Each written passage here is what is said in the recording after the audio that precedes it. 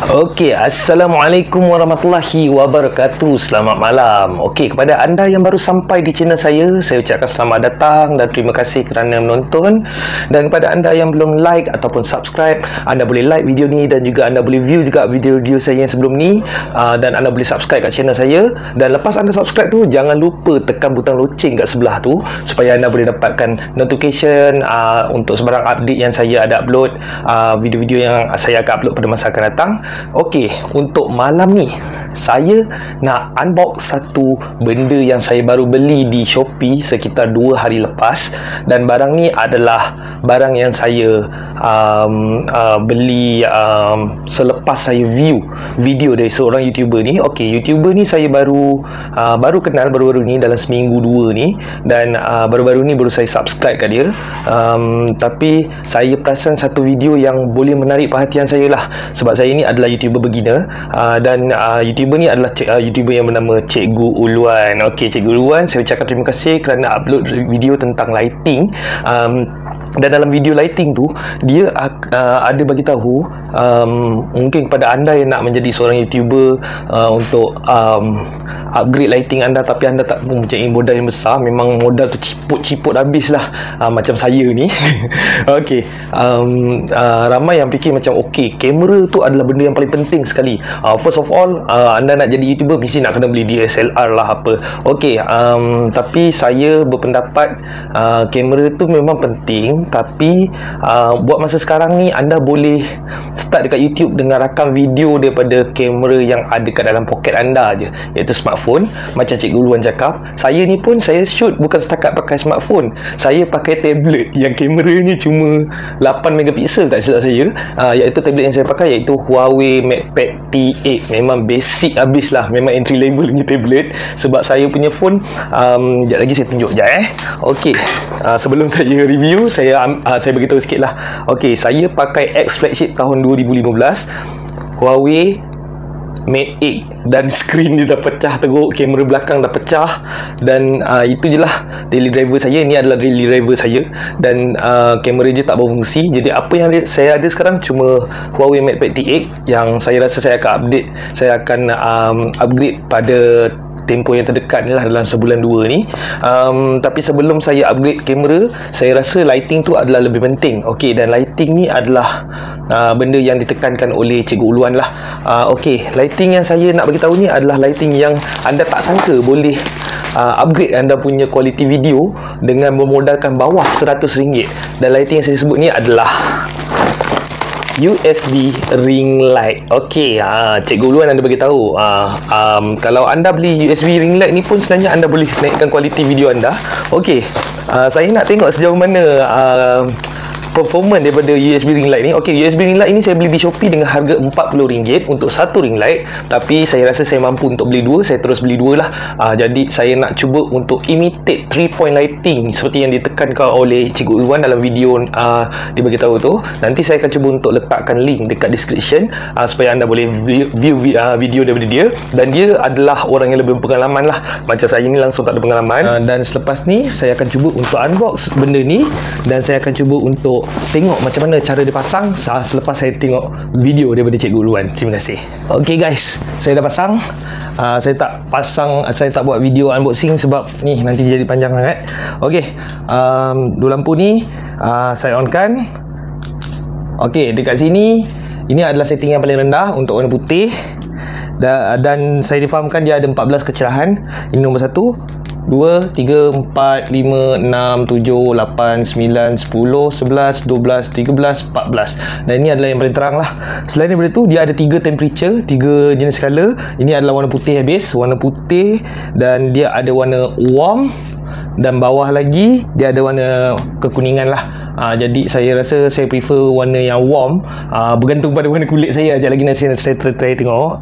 Uh, dan uh, ok lah tanpa buang masa lagi um, sekejap lagi saya nak try set up lighting ni. Kita tengok boleh tak dia upgrade saya punya lighting menjadi lebih ok sekarang ni saya pakai lampu dekat atas uh, seperti biasa.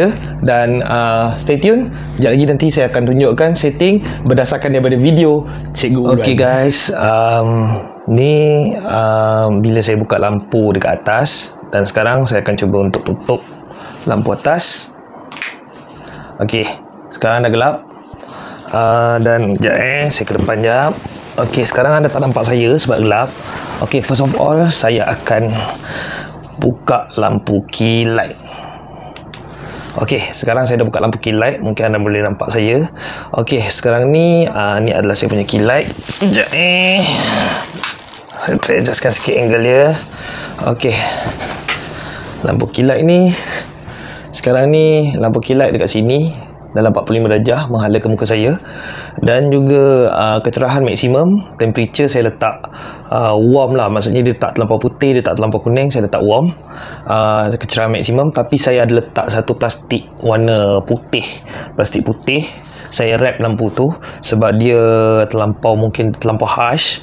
Um, uh, saya nak kurangkan dia punya tegak lampu tu. Jadi saya pasang plastik warna putih. Ini adalah satu lampu saja. Okey, lampu yang kedua, saya punya fill light saya letakkan juga 45 darjah uh, ke kiri tapi angle dia tak terlampau tinggi sangat sebab saya nak dekatkan sikit dengan muka tapi saya kurangkan dia punya brightness. Okey, ini adalah saya punya fill light. Uh, saya tak sure anda boleh nampak ke tak. Saya letak kecerahan yang paling rendah uh, supaya boleh membantulah Uh, tapi saya rasa saya boleh naik dekat nombor 2 kot. Okey, ini nombor 2. Nampak sikit dia ada uh, lighting tu ada mungkin shadow shadow daripada sebelah kiri saya ni. Um, sebab sekarang ni uh, key light tu kalau kita tak buka, kalau anda perasan lampu key light ni dia akan menyebabkan shadow kat sebelah sini. Uh, jadi bila saya buka fill light ni untuk kurangkan shadow tu uh, dan uh, untuk penambah seri, penambah seri saya akan tambah backlight ni menggunakan lampu raya. lampu raya ni sebenarnya adalah lampu uh, lama dekat rumah saya. Saya dah pakai dah bertahun dah. Warna asalnya ada tiga color, ada merah, kuning, hijau. Tapi merah kuning tu dah janam dah. Jadi tinggal yang warna hijau tu saya cabut warna hijau tu. Saya rembat lah daripada balkoni rumah saya tu. Saya pasang kat sini. Okey. Okey lah. Um, uh, seperti anda dapat lihat ini adalah setup saya buat masa sekarang ni. Uh, saya tak sure okey ke tak sebab saya tak tengok lagi apa pendapat anda. Anda rasa okey ke tak? Uh, kalau anda tanya saya saya sebenarnya lebih minatkan um, tak ada fill light sebab apa?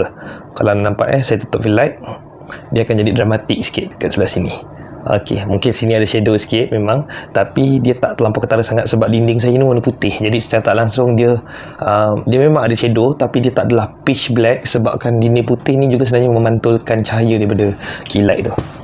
Okeylah. Sekejap lagi saya akan bagi pendapat saya dan penutup. Terima kasih. Okeylah. Um, saya rasa video ni dah panjang sangat. Uh, sekali lagi saya nak ucapkan terima kasih dekat Cikgu Ulwan sebab uh, memberikan tips yang bernas dan tips yang bagus lah um, dari segi lighting.